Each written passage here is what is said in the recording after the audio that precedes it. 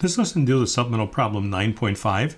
You can find this problem in the course ebook in the Chapter 9 supplemental problem starting on page 6. This supplemental problem is going to look at trying to design a battery eliminator for a CD player. Now, many, many years ago, we listened to music recorded on a compact disc in a portable player. This particular one was one my son had, which was a model D131 made by Sony, and had two AA batteries in it. And the batteries seemed to be wearing out a lot as we go on trips. So I was looking at designing a circuit I could plug into the cigarette lighter that I could recreate the voltages and currents I needed to run this thing under basically all the conditions of, of being in a car. I took it apart and measured the current being pulled in by the battery terminals with a power supply, like the ones we have in lab, and found that the minimum current was about a quarter of an amp. This was occurring when I was playing music, no matter what I set the volume to in the headphones. That's because most of this current is running a motor. But a CD player would also speed up to look for another song, and when it did that, the current jumped up to about a half an amp. And drawing this much current, these batteries won't last very long. Now I also have, besides this varying condition, we also have the voltages in the car itself, depending whether the car is on or off. A fully charged battery when you're running the car is about 14 volts. When you shut the car off, the battery voltage starts to drop. Usually it starts out about 13.6 or so, and then after several hours, it can actually drop to about 10 volts, is about the lowest it'll ever drop to. That's a range of voltages I could expect to see if I have the car running or have the car off. Now I'd like to pick the components of my design so this works under all conditions. I'm going to use a Zener that could replace the batteries. Fully charged AA battery is about 1.65 volts, so doubling that would be 3.3 volts. I found a 1N5333 Zener, which was rated at V sub Z of 3.3 volts, but it was a 5 watt unit. Let's see whether this is going to be a large enough wattage for us. Now this Zener voltage was guaranteed if you could have at least 20 milliamps of current in the Zener diode itself.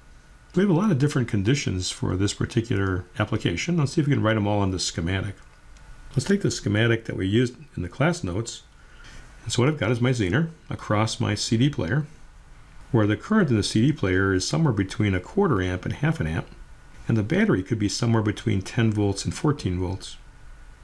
Could I pick the resistor R and select the wattage of it to make sure it doesn't melt, and then check the wattage of the Zener to make sure that I haven't put too much power into that.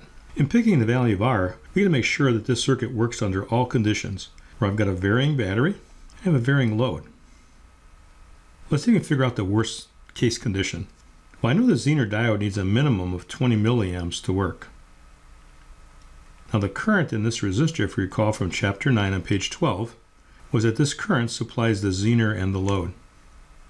The smallest current that's here has to be able to supply the worst condition, which would be minimally 20 here and 500 milliamps in the load.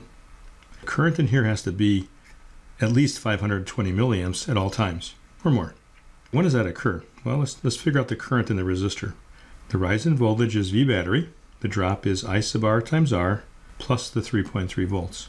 So we could solve for the current in the resistor as the battery voltage minus the 3.3 volts divided by R would be the current that's flowing in here. What's the smallest value of the voltage across here? Well, it's when this battery is at its smallest value. 10 volts minus 3.3 divided by 520 milliamps would be the value of R. That turns out to be 12.88 ohms. The calculations are shown on the next page. So we'll have 12.88 here. But in terms of power dissipated, what's the most current that could ever flow in here? Well, it's not when you're at 10 volts, but when you're at 14 volts, because the voltage here is fixed.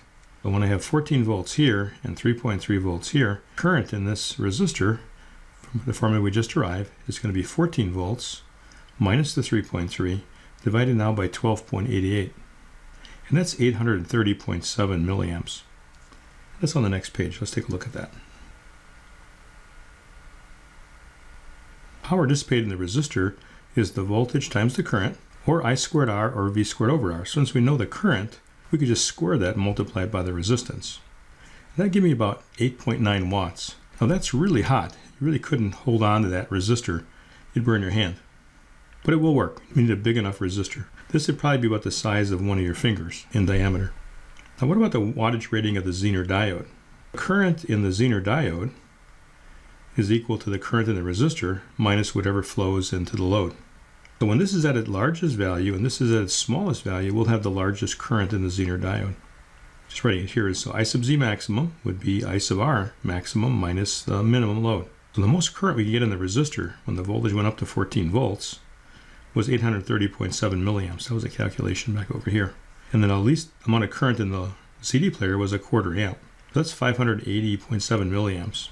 Power dissipated in a Zener diode is not I squared R or V squared over R because there's no resistance. It's just simply the voltage times the current. So 3.3 volt Zener times the 580.7 milliamps would be 1.92 watts. That too is a lot of power to dissipate, but I picked a 5 watt Zener, so we'd be okay on that. And if I picked a 10 watt resistor, this would work okay too. But this is a lot of heat to give off in a circuit. If you put this into a box or a handle to plug into the cigarette lighter, you probably would burn your hand. So we're going to revisit this problem once we talk about transistors and see if we can eliminate some of this current that's flowing into the resistor that's feeding the Zener diode. And this is design of a battery eliminator for a Sony Discman CD player.